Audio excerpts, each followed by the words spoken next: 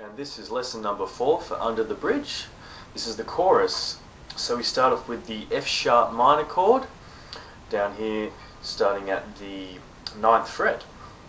And then we go to E, and then to B.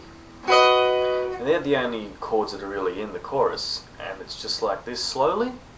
F sharp minor, E, B, scratch,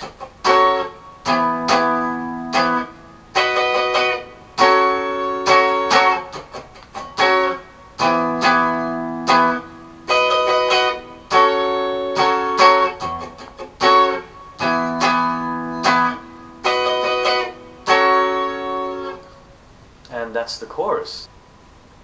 Okay, so on the first chorus, there's a little bit of an interlude uh, just before they hit the third verse, and all that is is the uh, second verse chord progression, which we explored in lesson number three. So straight after you play the uh, first chorus, you go straight into the second verse chord progression.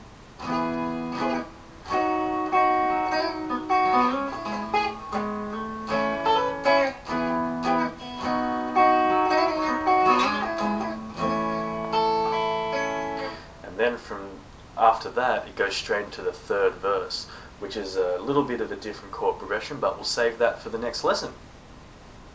So that's lesson number four for the chorus of Under the Bridge.